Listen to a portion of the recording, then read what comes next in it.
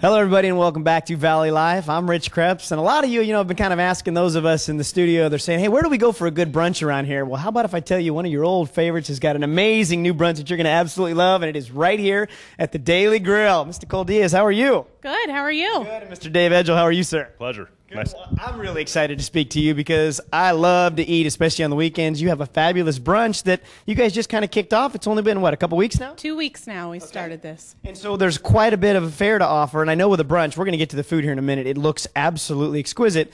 But that also makes me think, oh, it's going to be pricey. That is not the case here. You got a range for price. Absolutely. The brunch starts off at 1075, goes all the way up to 2295 depending on what you'd like to order. The stuff I'm looking at here is about a $50 brunch. You said it goes all the way up to 22. It's still under $25? It is. Actually, these items are all around 10 or 11 dollars. Okay. Well, then that actually leads me into a question, Dave. Uh, talk to me about what's, what some of these items are because I know you're offering great fare here. All right, we brought out a couple of uh, signature uh, items to showcase here. Uh, chilaquiles, we've got right here. Um, moving down the line, we've got a shrimp and crab omelet. It's also stuffed with spinach, got avocado chives. Okay. Down a little bit further, egg white omelet, mushrooms. It's got an avocado tomato salsa on the top of that. Moving down even further, we got the smoked salmon or bagels and lox uh, with capers, tomatoes, red onion, uh, lemon zest. I'm looking at some monkey bread right there. That's the that's the piece de resistance. It's the monkey bread. We're offering that to everybody who orders a breakfast item for brunch. They get a monkey bread along with it.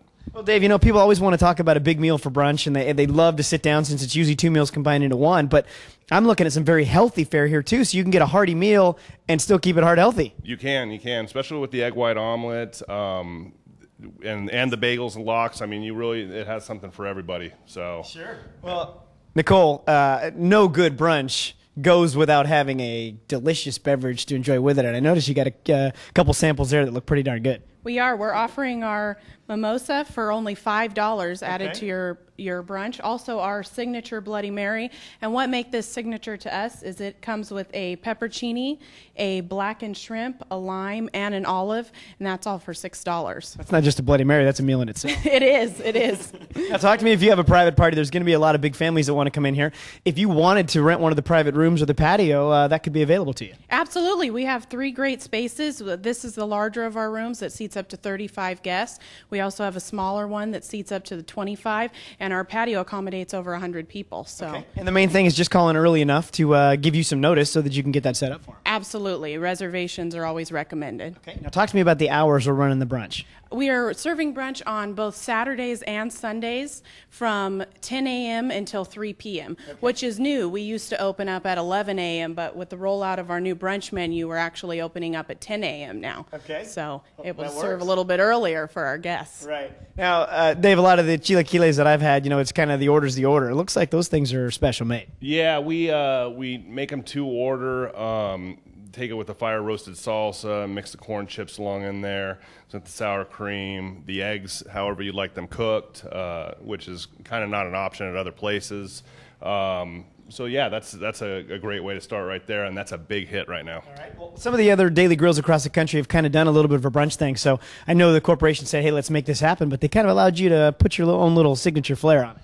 Yeah, they kind of have different locations, have a couple different items. They do ha- still have the main core items, but uh, some of them are tailored to the area. So, Yeah. Yeah. Well, Nicole, if you have a party that comes in and, you know, let's say you've got, you know, three or four people at the end of the table that are big eaters and you've got others that aren't and want to do something light, can you break up the price? Or if it's one person sits down at the table, it's all at the same thing? No, we absolutely can split the dishes. Okay. Absolutely. And the bagels and lox would be an example of something that's a little on the lighter side. We also have a New York steak and eggs, which is a, you know, one of the heavier dishes, bigger dishes. And all of these dishes are actually available with fresh fruit, breakfast potatoes, or um, sliced tomatoes. Okay. So if you want to go that healthier route, you have the fruit and the tomato. If you want to go a heartier route, you have the breakfast potatoes also as an option. Yeah, there's always, you know, uh, great weekend things that are coming up. Uh, I know we had Easter, sometimes with like Mother's Day, and even when you get into the Christmas season and that kind of thing, the reservations are certainly required at that point because there's going to be a heavy rush on it. Definitely. Mother's Day is, is going to be a definitely big day, as well as the holiday season. We definitely would recommend making reservations for those times especially.